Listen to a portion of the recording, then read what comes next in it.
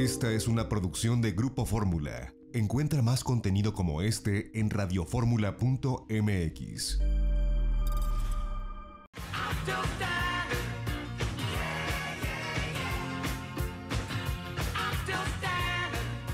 Es periodista, muy buen periodista, comunicador, escritor. Es un gran amigo de este programa. Me encanta tenerlo aquí, Juan Luis R. Pons. ¿Cómo estás? Encantado de estar por acá. ¿Tú qué tal? Yo contenta de verte, gracias, porque yo sé que haces una excursión para llegar hasta acá, para que nos podamos reunir unos minutos. La ocasión anterior que viniste al programa presentamos más storytelling, menos y a mí qué. Y fue la presentación muy gustada. Mucha bueno. gente me estuvo preguntando acerca del libro. Qué bueno, qué bueno. La verdad estoy muy contento porque debo contarte que está en el primer lugar de, mm, de ventas en su ramo en la tienda esta que está en línea En muy Amazon. conocida, en Amazon. Me da un gusto enorme. Entonces está en primer lugar en hablar en público, está en primer lugar en comunicación, me parece. Y bueno, va subiendo y bajando y tal, pero me parece fantástico que en los meses que lleva le vaya tan bien. No, y es que abarca todo este tema de la comunicación. Digo, para ti, pararte frente a un auditorio, hablar, no te, no te cuesta trabajo. Claro, te preparas, tienes todo organizado y va, empiezas a hablar.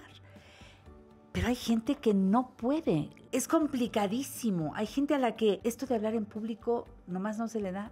Nada más le comunicas que tiene que llevar la junta entre sus compañeros y ya con eso tiene para que lo haga Luis. Yo no lo hago.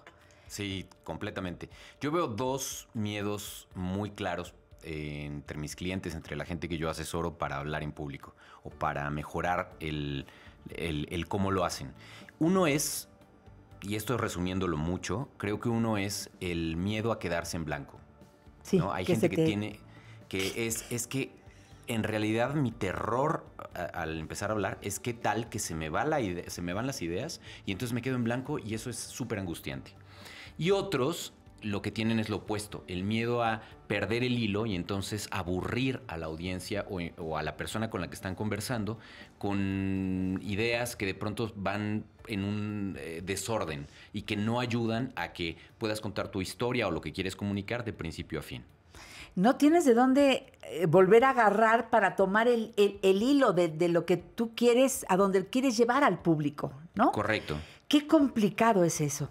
Pero bueno, a ver, eh, el primer acercamiento que tú tuviste con storytelling, ¿cómo fue? Para que tú lo puedas compartir con tus lectores y con tus clientes. Esta palabra la han escuchado muchísimo, yo creo, y es, una, es un término que está muy de moda. ¿Qué es storytelling como tal? A mí me gusta definirla y en el libro lo ponemos así como la habilidad de contar historias de manera eficiente.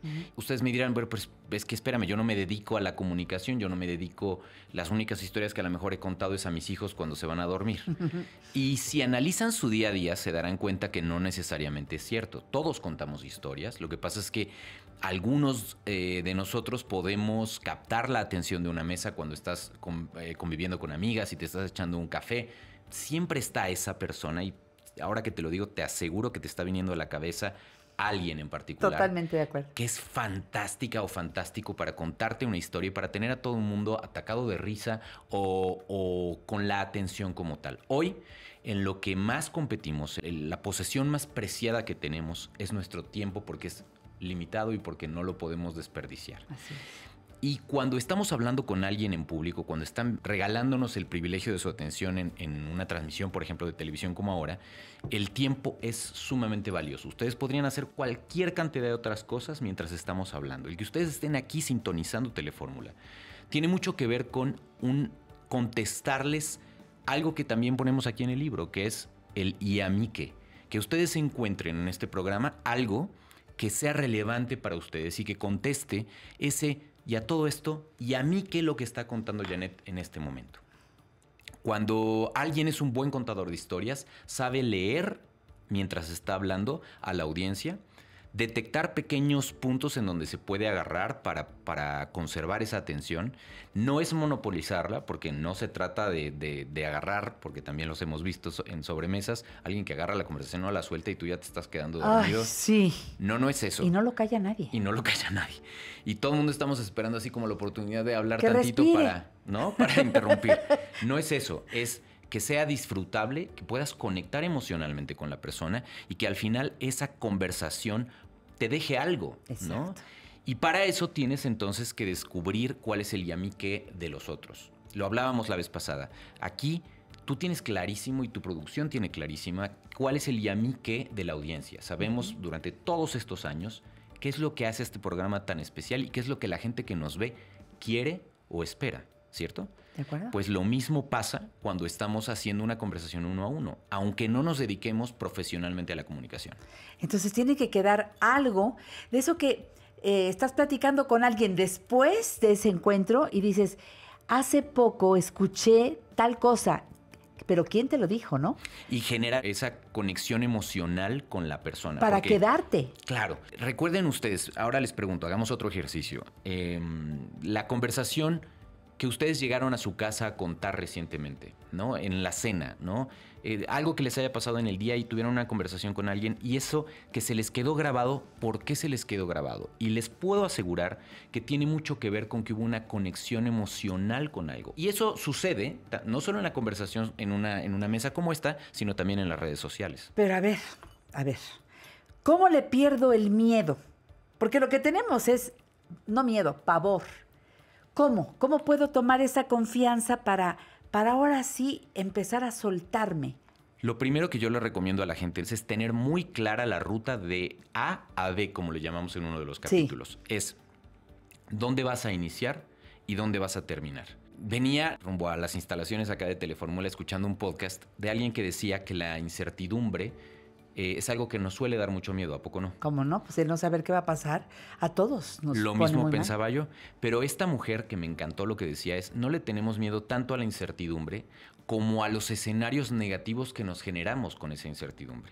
Porque cuando vamos a un viaje, por ejemplo, la incertidumbre es algo que disfrutamos, es queremos ver a ver qué va a haber en el museo, queremos hay cierta dosis controlada de incertidumbre que disfrutamos y que nos ponemos en un mood mental diferente para Sí, disfrutar. Pero sí. claro, cuando no nos gusta la incertidumbre es porque nos imaginamos escenarios fatalistas. Yo soy buenísimo para, para hacer estas historias igual, pero también para generármelas en mi cabeza. Claro. Y, y eso entonces te vas a ese escenario y eso es a lo que le tienes miedo, no necesariamente a la incertidumbre. Entonces, esa ruta de A a B la tienes que tener muy clara para que entonces no, no pasen estos escenarios que hablaba yo hace ratito, que no tengas tú ese miedo de decir, no me quiero quedar en blanco, pero tampoco quiero perder al otro y que me digan ya por favor, o que como en ese famosísimo programa de televisión me toquen la trompetita Ay, esa no, y me no, saquen. no. Entonces, Gracias ¿cómo se hace eso? se hace trazando un- una ruta dónde vas a arrancar. En el libro les pongo varios tips para inicios, para comienzos, y también un hacia dónde quiero llevar. Porque claro, si les decía yo que el tiempo es una de las, de las cosas más valiosas que tenemos, pues normalmente yo, por ejemplo, aquí sé que vamos a platicar, porque así me lo dijo la producción, alrededor de 10 minutos. Sí. Entonces yo tengo en la mente un, ok, este es mi arranque, probablemente va a depender evidentemente de las preguntas que tú me hagas, Sí. pero vamos a llegar a un punto en el que yo no me quiero ir del programa sin mencionar determinada cosa, que, es, que también eso se llama call to action o llamado a la acción. Es decir, que en este caso, por ejemplo, es decirles de mi libro, es cada uno tiene un llamado a la, a la acción que es importante. Ustedes en los podcasts, por ejemplo, lo pueden, es síganos, denle like, la- el pulgar hacia arriba en redes sociales, Ajá. algo que estás buscando, ¿no? Sí. Eh, llámenos al programa Tener seguidores. tener seguidores. Si ustedes están ofreciendo un bien o un servicio, es el teléfono es tal. Claro. Y muchas veces llegamos a, a oportunidades como esta y se nos olvida el ¿y cómo van a contactarme si ni di mi teléfono? Exactamente, exacto. Entonces es tener muy clara esa ruta. Yo recomiendo en el libro hacerlo de manera escrita y a mano. ¿Por qué escrita y a mano? Porque de esa manera puedes recordar o u obligar a tu cerebro a tener esa ruta escrita sin necesidad de tenerla al lado tuyo. Es decir, al trazarla a mano, haces conexiones neuronales que te permiten ubicar en dónde pusiste la información. Eh, hasta se valdría un mapa mental. Es un mapa mental, tal cual. Sí, Hay un no- no- no para lineal. No lineal. Porque el lineal, que, que fue como aprendimos muchos, eh, ese ya no funciona, porque estás buscando el apunte y te puedes estar 40 horas buscando el apunte y dónde está. En cambio, en el mapa mental tiene las ideas en grande, colores, este, Tal cual. flechitas.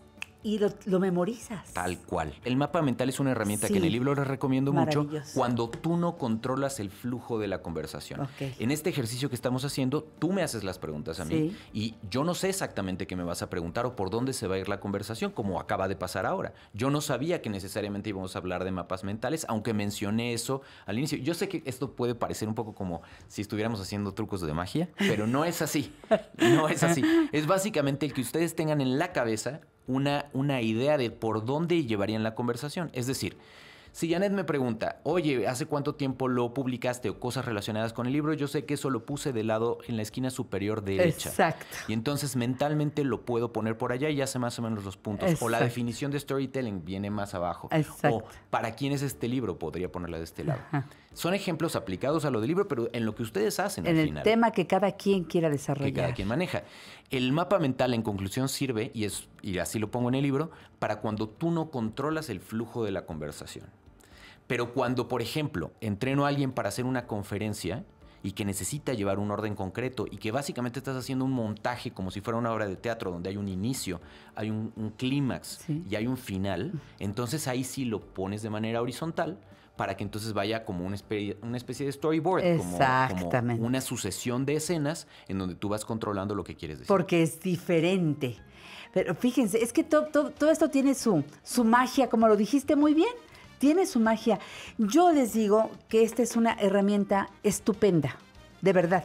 Y sí quiero que me des las redes sociales y cómo podemos, aparte de, que el libro está en todos los formatos. Sí, eh, hay tres formatos como tal para el libro. Para los que nos gusta el papel, este es un formato y que pueden encontrar. Sí. Está el formato de ebook y está también el audiolibro que tengo el gusto de narrar yo mismo. Juan Luis R. Pons.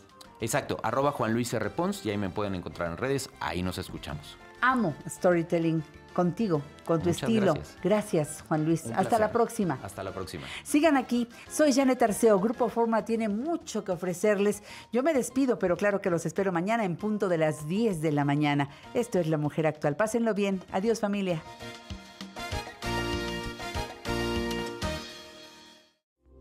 Esta fue una producción de Grupo Fórmula. Encuentra más contenido como este en radioformula.mx.